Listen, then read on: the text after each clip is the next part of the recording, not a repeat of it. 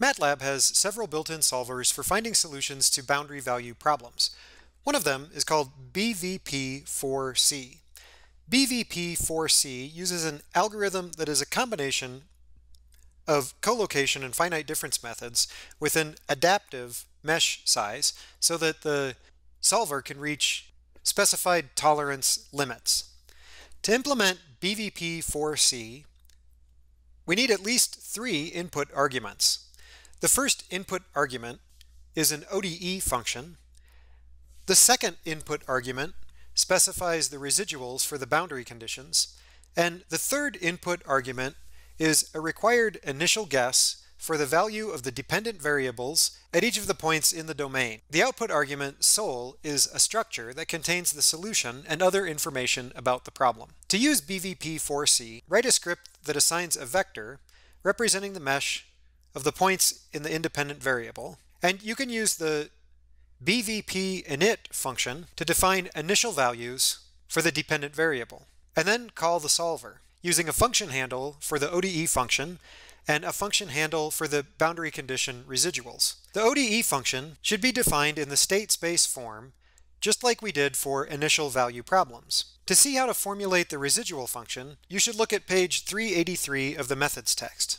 Let's consider another example of a physical system that gives rise to a boundary value problem. Let's consider a cooling fin on a radiator used to transfer heat from a hot surface at temperature TW to a surrounding gas. The heat transfer at steady state is described by a second order ordinary differential equation that can be obtained from the thermal energy balance.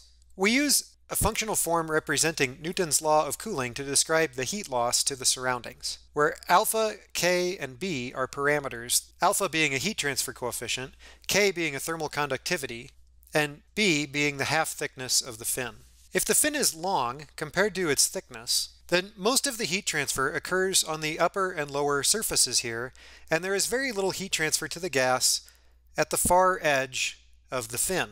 That means we can approximate the flux of thermal energy to the edge of the fin as being equal to zero. And if the flux of thermal energy to the edge of the fin is zero, then the gradient in temperature must be zero at x equals L. That gives us a Neumann condition at x equals L. And we have a Dirichlet condition at x equals zero, where the temperature of the fin is assumed to be equal to the wall temperature. To solve this boundary value problem, we might prefer to first de-dimensionalize it. If you were to apply the Buckingham pi theorem to this problem, you would find out that there are three pi variables required. We can de-dimensionalize this by defining a dimensionless temperature, a dimensionless length parameter, and a dimensionless heat transfer parameter. Rewriting this differential equation in the dimensionless form gives this second order equation with these boundary conditions.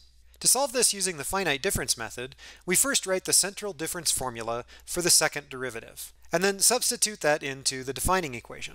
We can simplify this by multiplying by little h squared and combining the terms containing like values of theta. Consider finding a solution to this problem using the finite difference method with a mesh containing just five points at 0, 0.25, 0.5, 0.75, and 1. Since the value of theta is not known at zeta equals 1, we need an additional equation describing that mesh point.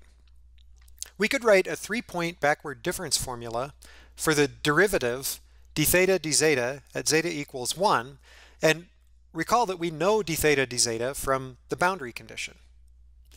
We could alternatively write a two-point central difference, which would require that we add a point that's not really in the domain at zeta equals 1.25 and approximate that the heat transfer continues from the point 1 to 1.25 according to the same defining equation. We now have five equations and five unknowns.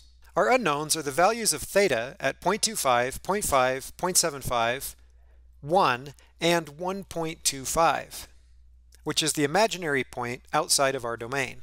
If we write the system of equations representing the defining equations at each of the mesh points, we have a linear system of equations, which in this case is not tridiagonal because we have a non-zero element here. These unknown points in the domain represent theta at 0.25, theta at 0.5, theta at 0.75, theta at 1, and theta at 1.25. This linear system of equations can easily be solved using methods from Chapter 4 of the Methods text.